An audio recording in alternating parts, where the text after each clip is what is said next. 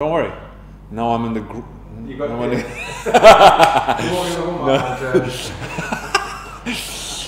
warm up. I was always best at warm up, mate. Always.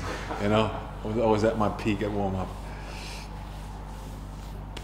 So my uh, some of my questions have changed a bit because there's this uh, exciting news and changes in the academy Yeah. coaching lineup. Can you tell us about that?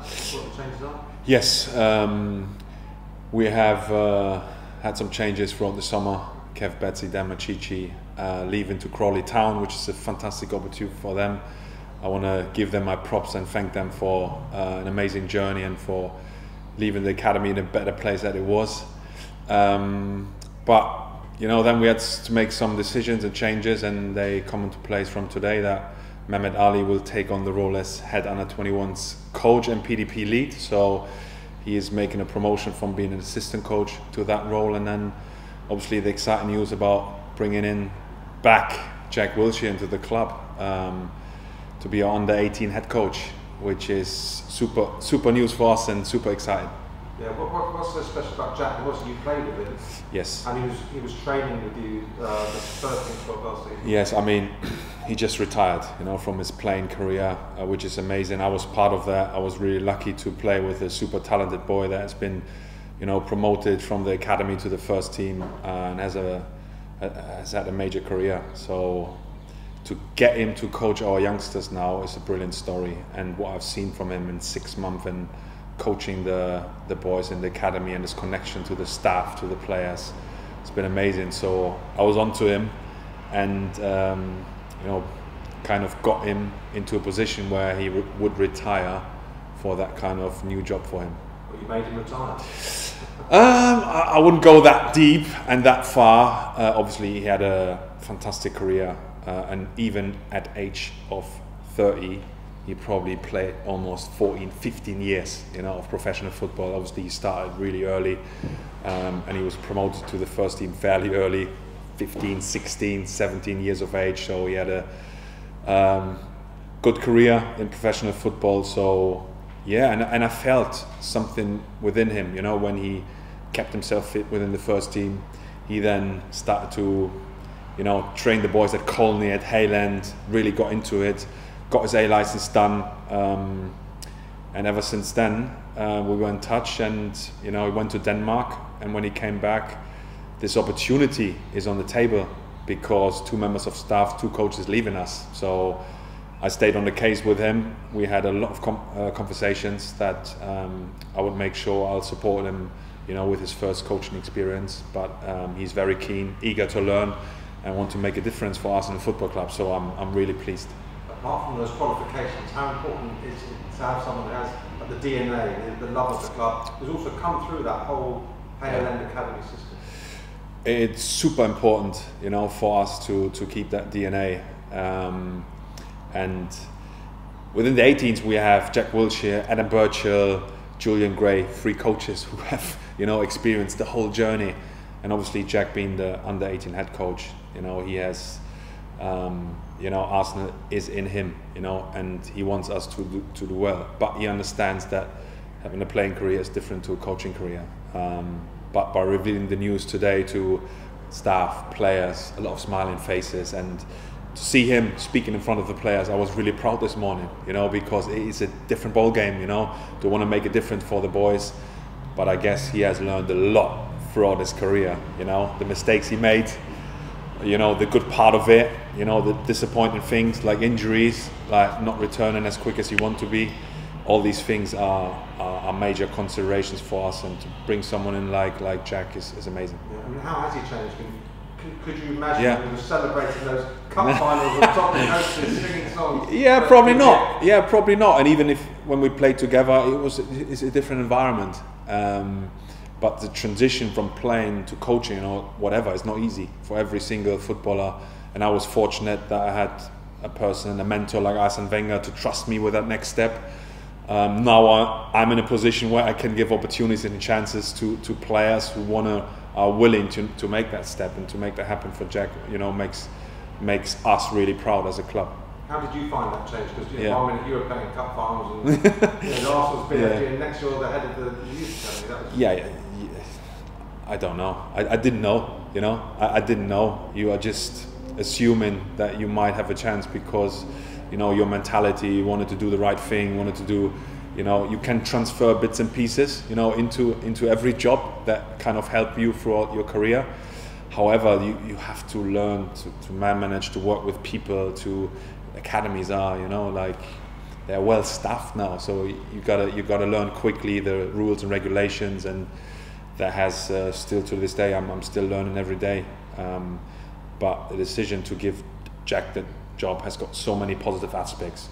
We, by saying Edu, Mikel, myself, we were so much you know involved into the process. We want to make it work. We want to help him. We want to support him, and the support staff, you know, in the academy, um, the head of coaching, Luke Hobbs, they were fantastic throughout the process because they want to make it happen. They know how powerful it is, but they know how much support you will need as well. And everyone is kind of will, will sacrifice, you know, for, for Jack being a success. It's, it's a real sort of uh, race, isn't it, to attract the best young players from, from all over the world. How how much yeah. will it help have a sort of figurehead or a person like Jack on board with yourself yeah. and Mikel and Nesbitt? Yeah, will help. You know, we because the good thing is Jack has worked under Mikel as well, you know, throughout throughout this the six month with us. So he knows the messages, he knows the playing style, he knows what to do. He he has got the history, and Jack gets it, you know, what we're about. So him speaking to our top talents, to new recruits, to our under eights, under eight parents, you know, he will give them a good perspective on what we're about. So we'll use him in multiple assets, and he is ready for it.